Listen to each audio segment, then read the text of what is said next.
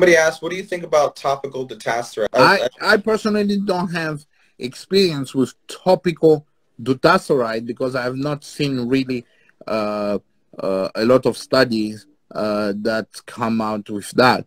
What we use is dutasteride with uh, in mesotherapy, and uh, that has shown very good result. We have patients with really great result with that. So uh, because it works in mesotherapy for me, so I tend to use it in mesotherapy and not trying new things. You know, I try new things when they are tested, and uh, you know, when I see in literature and and I'm convinced, then yes.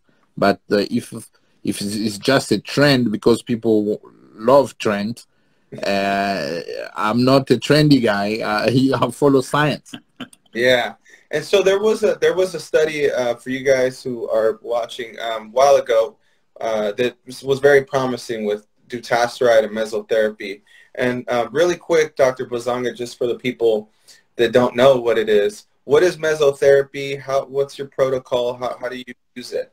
So mesotherapy is actually a technique that was invented by a doctor in France, where you take different product, vitamins and all that, you inject them into the scalp, in the dermis. Uh, so by providing here, in this case, dutasteride right next to the hair follicles, then uh, it's absorbed there and has a greater impact at the level of the follicles. So it consists, because the manufacture of the dutasteride, uh, there is alcohol in, in, it, so it tend to burn. So we usually add some local anesthesia in it, so then when we inject, it doesn't sting. Mm. Okay, and so by doing the dutasteride with mesotherapy, the dutasteride is able to uh, attach to the hair follicle. To hair follicle because it's a 5 alpha reductase 1 and 2, so then help uh, into not allowing the DHT to bind to the follicles and all that.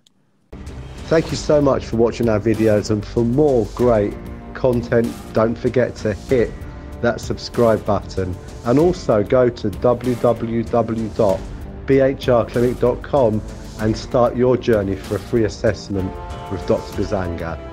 Thanks ever so much. Let's get started together and look forward to seeing you soon.